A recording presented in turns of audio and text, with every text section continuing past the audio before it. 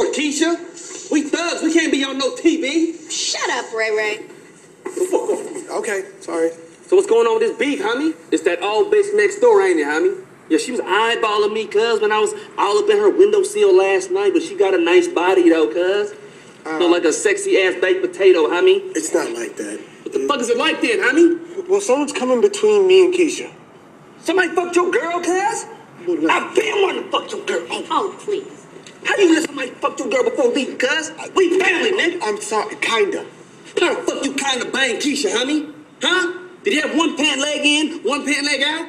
Like he wasn't even interested in fucking her, honey? Like he had somewhere better to be, honey? Okay, Ray Ray, that is not what it's like. And can you please tell your Negro to back the hell up off me? Hey, pelvis back two inches, homie. But stay up on her, though.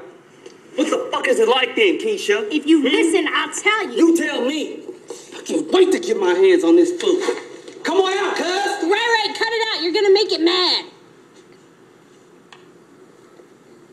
I don't give a fuck, Keisha.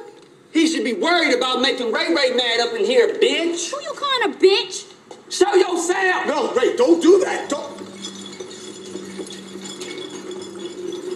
What the fuck is that? a ghost, Ray. A ghost ghost? A ghost ghost. Like a dead ghost? Yes. you idiot! What the f- What the hell? What happened to your furniture, cast?